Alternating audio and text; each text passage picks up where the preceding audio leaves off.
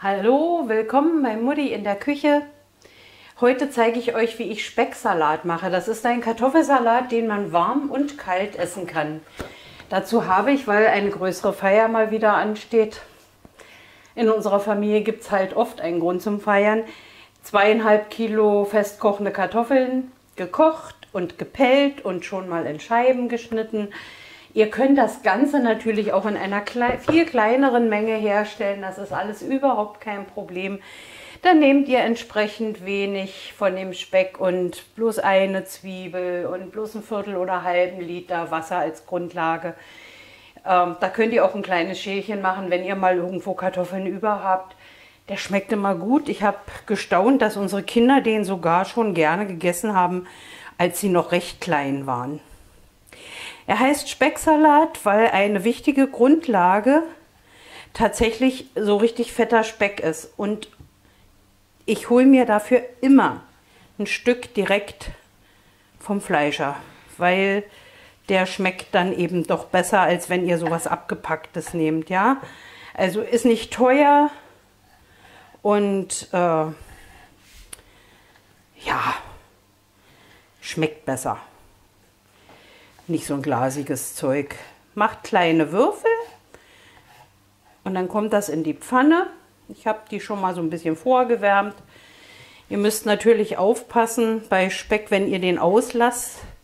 Die, ihr müsst warten, bis das wirklich das Fett alles raus ist und die Würfel anfangen knusprig braun zu werden. Und das heißt, der Speck wird auch ein bisschen dampfen. Und dann habt ihr in der Wohnung auch den Geruch von ausgelassenem Speck. Also das muss man wissen, wenn man es macht. Ja, also wenn direkt die Gäste vor der Tür stehen, vielleicht nicht so das Richtige. Aber ich mache das gerne einen Tag vorher, dann kann das in Ruhe durchziehen. Außerdem sitzen wir morgen draußen, weil wir den Grill anmachen. Und dann passt das schon. Ich habe extra eine noch größere Menge gemacht, weil die Kinder schon vorher anreisen. Dann ist auch zur Not schon mal was für morgen Mittag da, wenn Sie Hunger haben. Ja, ganz einfaches Rezept. Wie gesagt, ich schneide jetzt hier den Speck und lasse den aus. Da müsst ihr nicht die ganze Zeit zugucken. Ich mache nachher weiter, wenn die Speckbrocken soweit sind. Und immer so ein bisschen nach Sicht, wenn ihr meint, ach ja, das reicht, dann reicht es halt. Ne? Ich weiß nicht, ob ich hier das ganze Stück dran haue. Ich will, dass das in der Pfanne gut aussieht. Auf jeden Fall werde ich auf die Menge etwa ein Dreiviertel Liter Wasser als Grundlage nehmen. Nachher für den Sud, da kommt Essig dran. Und ich bin so ein alter Essig-Fan. Ich mag nicht gerne diesen Weinessig-Geschmack an solchen Gerichten. Deswegen nehme ich da wirklich gerne Essigessenz. Das heißt, die ist sehr konzentriert. Davon muss ich nicht so viel dran machen. Das müsst ihr euch alleine ausprobieren. Nehmt euren Lieblingsessig. Ansonsten braucht ihr, damit das süß-sauer wird, neben Essig natürlich Salz. Und Pfeffer habe ich mir gerade hier schon mal gemahlen. Und Zucker, unbedingt. Essig, Zucker, Salz, Pfeffer. Zwiebeln kommen auch noch dran und das war es dann schon. Das ist ein recht preisgünstiges Essen, was allen schmeckt und nicht viel Arbeit macht, muss ich mal sagen. Denn Kartoffeln kochen sich alleine. Kartoffeln pellen geht auch schnell. Ich mache die immer nach dem Kochen in kaltes Wasser mit Eis.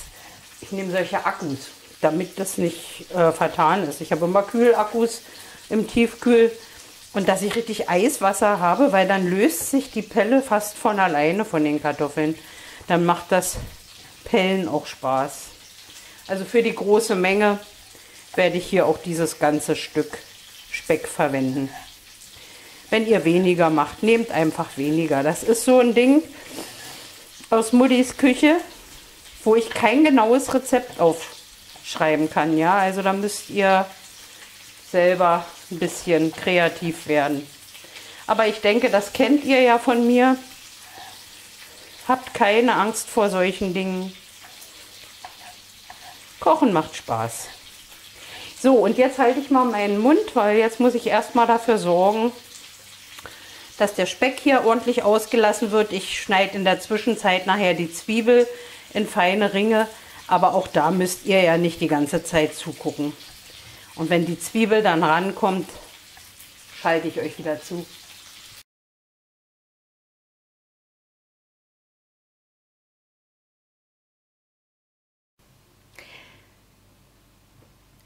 Jetzt werden hier die Bröckchen langsam etwas braun. Ich kann euch das mal zeigen. Es schwimmt hier schon alles schön in der Pfanne. Ja, und die nehmen auch langsam Farbe an. Kleines bisschen mehr darf es gerne noch sein. Ich habe meine drei Zwiebeln hier in feine Ringe geschnitten und mache jetzt weiter mit dem Sud. Vielleicht können wir dann auch gleich weitermachen, denn der ganze Rest von dem Salat geht dann wirklich ganz schnell. Also hier mache ich jetzt so, naja, ein Esslöffel. Erstmal von der Essig Essigessenz. Und auf jeden Fall ein Esslöffel Zucker, anderthalb Teelöffel Salz. Und relativ ordentlich Pfeffer. Würde ich mal sagen, auch mindestens ein Teelöffel. Ich rühre das mal durch. Und dann kommt ihr nicht drum rum, ihr müsst äh, Ihr müsst das dann kosten. Braucht tatsächlich noch ein bisschen Zucker. Essig reicht. Also würde ich sagen, auf die Menge zwei Esslöffel Zucker. Salz und Pfeffer ist gut. Wird ja manchmal gefragt, warum denn immer Zucker? Oh, jetzt habe ich Pfeffer am Hals. Ich muss mal kurz Pause machen. Geht wieder. Also ich werde immer mal wieder gefragt, warum ich immer Zucker nehme. Ja, also ich bin in manchem schon ziemlich modern in der Küche, aber da gebe ich ehrlich zu, ja, noch nicht immer auf anderem Wege. Aber ich habe auch Birkenzucker da. Ihr könnt also Birkenzucker oder Xylit auch genauso wie Zucker verwenden. Ihr könnt auch immer mit Agavendicksaft hier oder, äh, oder Honigsüßen, je nachdem, was euch lieber ist. Ja, ihr müsst nicht Industriezucker nehmen. So, jetzt haben diese Bröckchen alle eine schöne hellbraune Farbe. Dann wird es Zeit, die Zwiebeln da dran zu tun.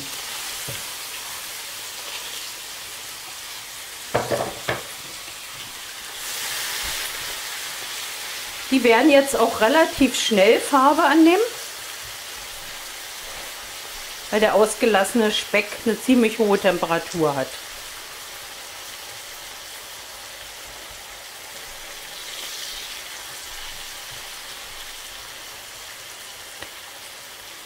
Trotzdem halte ich mal wieder meinen Mund und hole euch ran. So in drei, vier Minuten, denke ich mal, haben die Zwiebeln die richtige Farbe.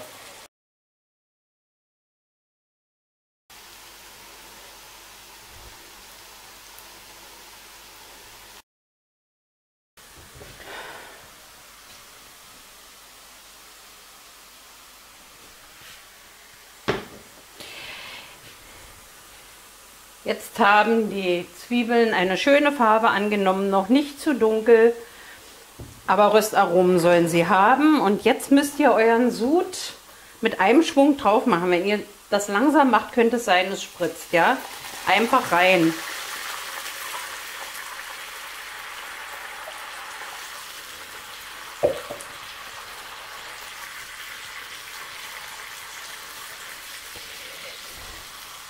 Das Ganze lasse ich jetzt noch mal so aufkochen und etwa vier, drei, vier Minuten wenigstens richtig schön durchkochen. damit das alles sich gut miteinander vermengt. Und dann kommt das über unsere Kartoffeln und dann sind wir fertig. Also, das fängt jetzt schon langsam an hier zu kochen. Genau. Und wenn ihr das schön langsam durchkocht, dann merkt ihr auch, dass es nicht mehr bloß wie Wasser ist, sondern dass sich da wirklich so eine andere Konsistenz entwickelt. Durch den Speck, durch den ausgelassenen Speck. Gleich ist es soweit. Ich habe das Ganze jetzt etwa fünf Minuten durchgeköchelt und jetzt kommt dieser ganze Sud an meinen Kartoffelsalat.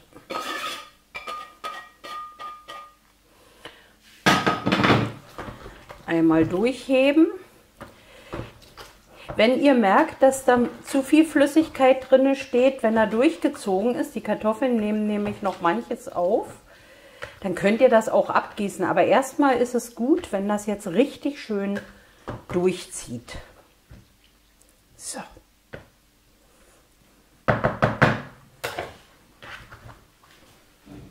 Specksalat. Meine Kinder haben ihn schon immer gern gegessen. Sie haben ihn sich gewünscht, bekommen ihn jetzt und ich wünsche euch viel Spaß beim Nachmachen und gutes Gelingen.